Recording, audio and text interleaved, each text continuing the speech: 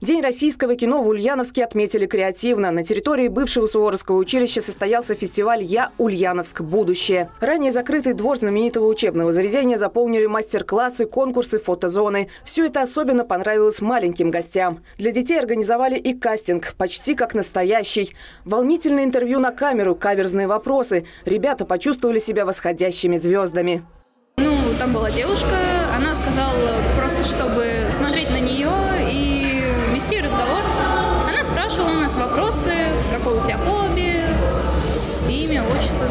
Мне камера это довольно привычно, поскольку я учусь на пении, и мы там снимаем всякие разные сценки, и камера, я уже к ней привыкла.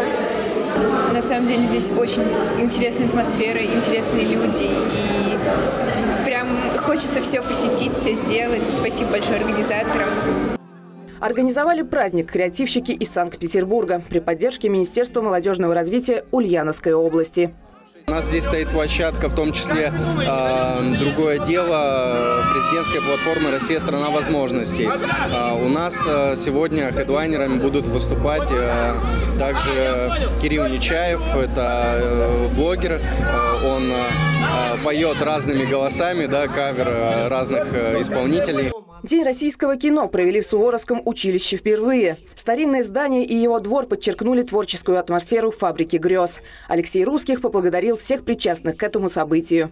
То, что сегодня здесь происходит, это результат очень большой длительной работы общественников, экспертов и, конечно же, правительства Ульяновской области. Я благодарю Министерство обороны, всем, кто принимал участие в этом ответственном решении, в передаче территории муниципалитет в город Ульяновск.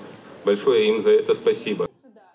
Кульминацией мероприятия стал показ короткометражного фильма под названием «Я Ульяновск. Будущее». Пейзажи города на семи ветрах, районы, кварталы и, главное, люди.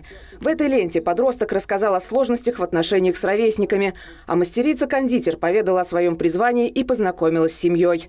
В нескольких историях раскрылись ульяновцы с их победами и поражениями, с печалями и радостями.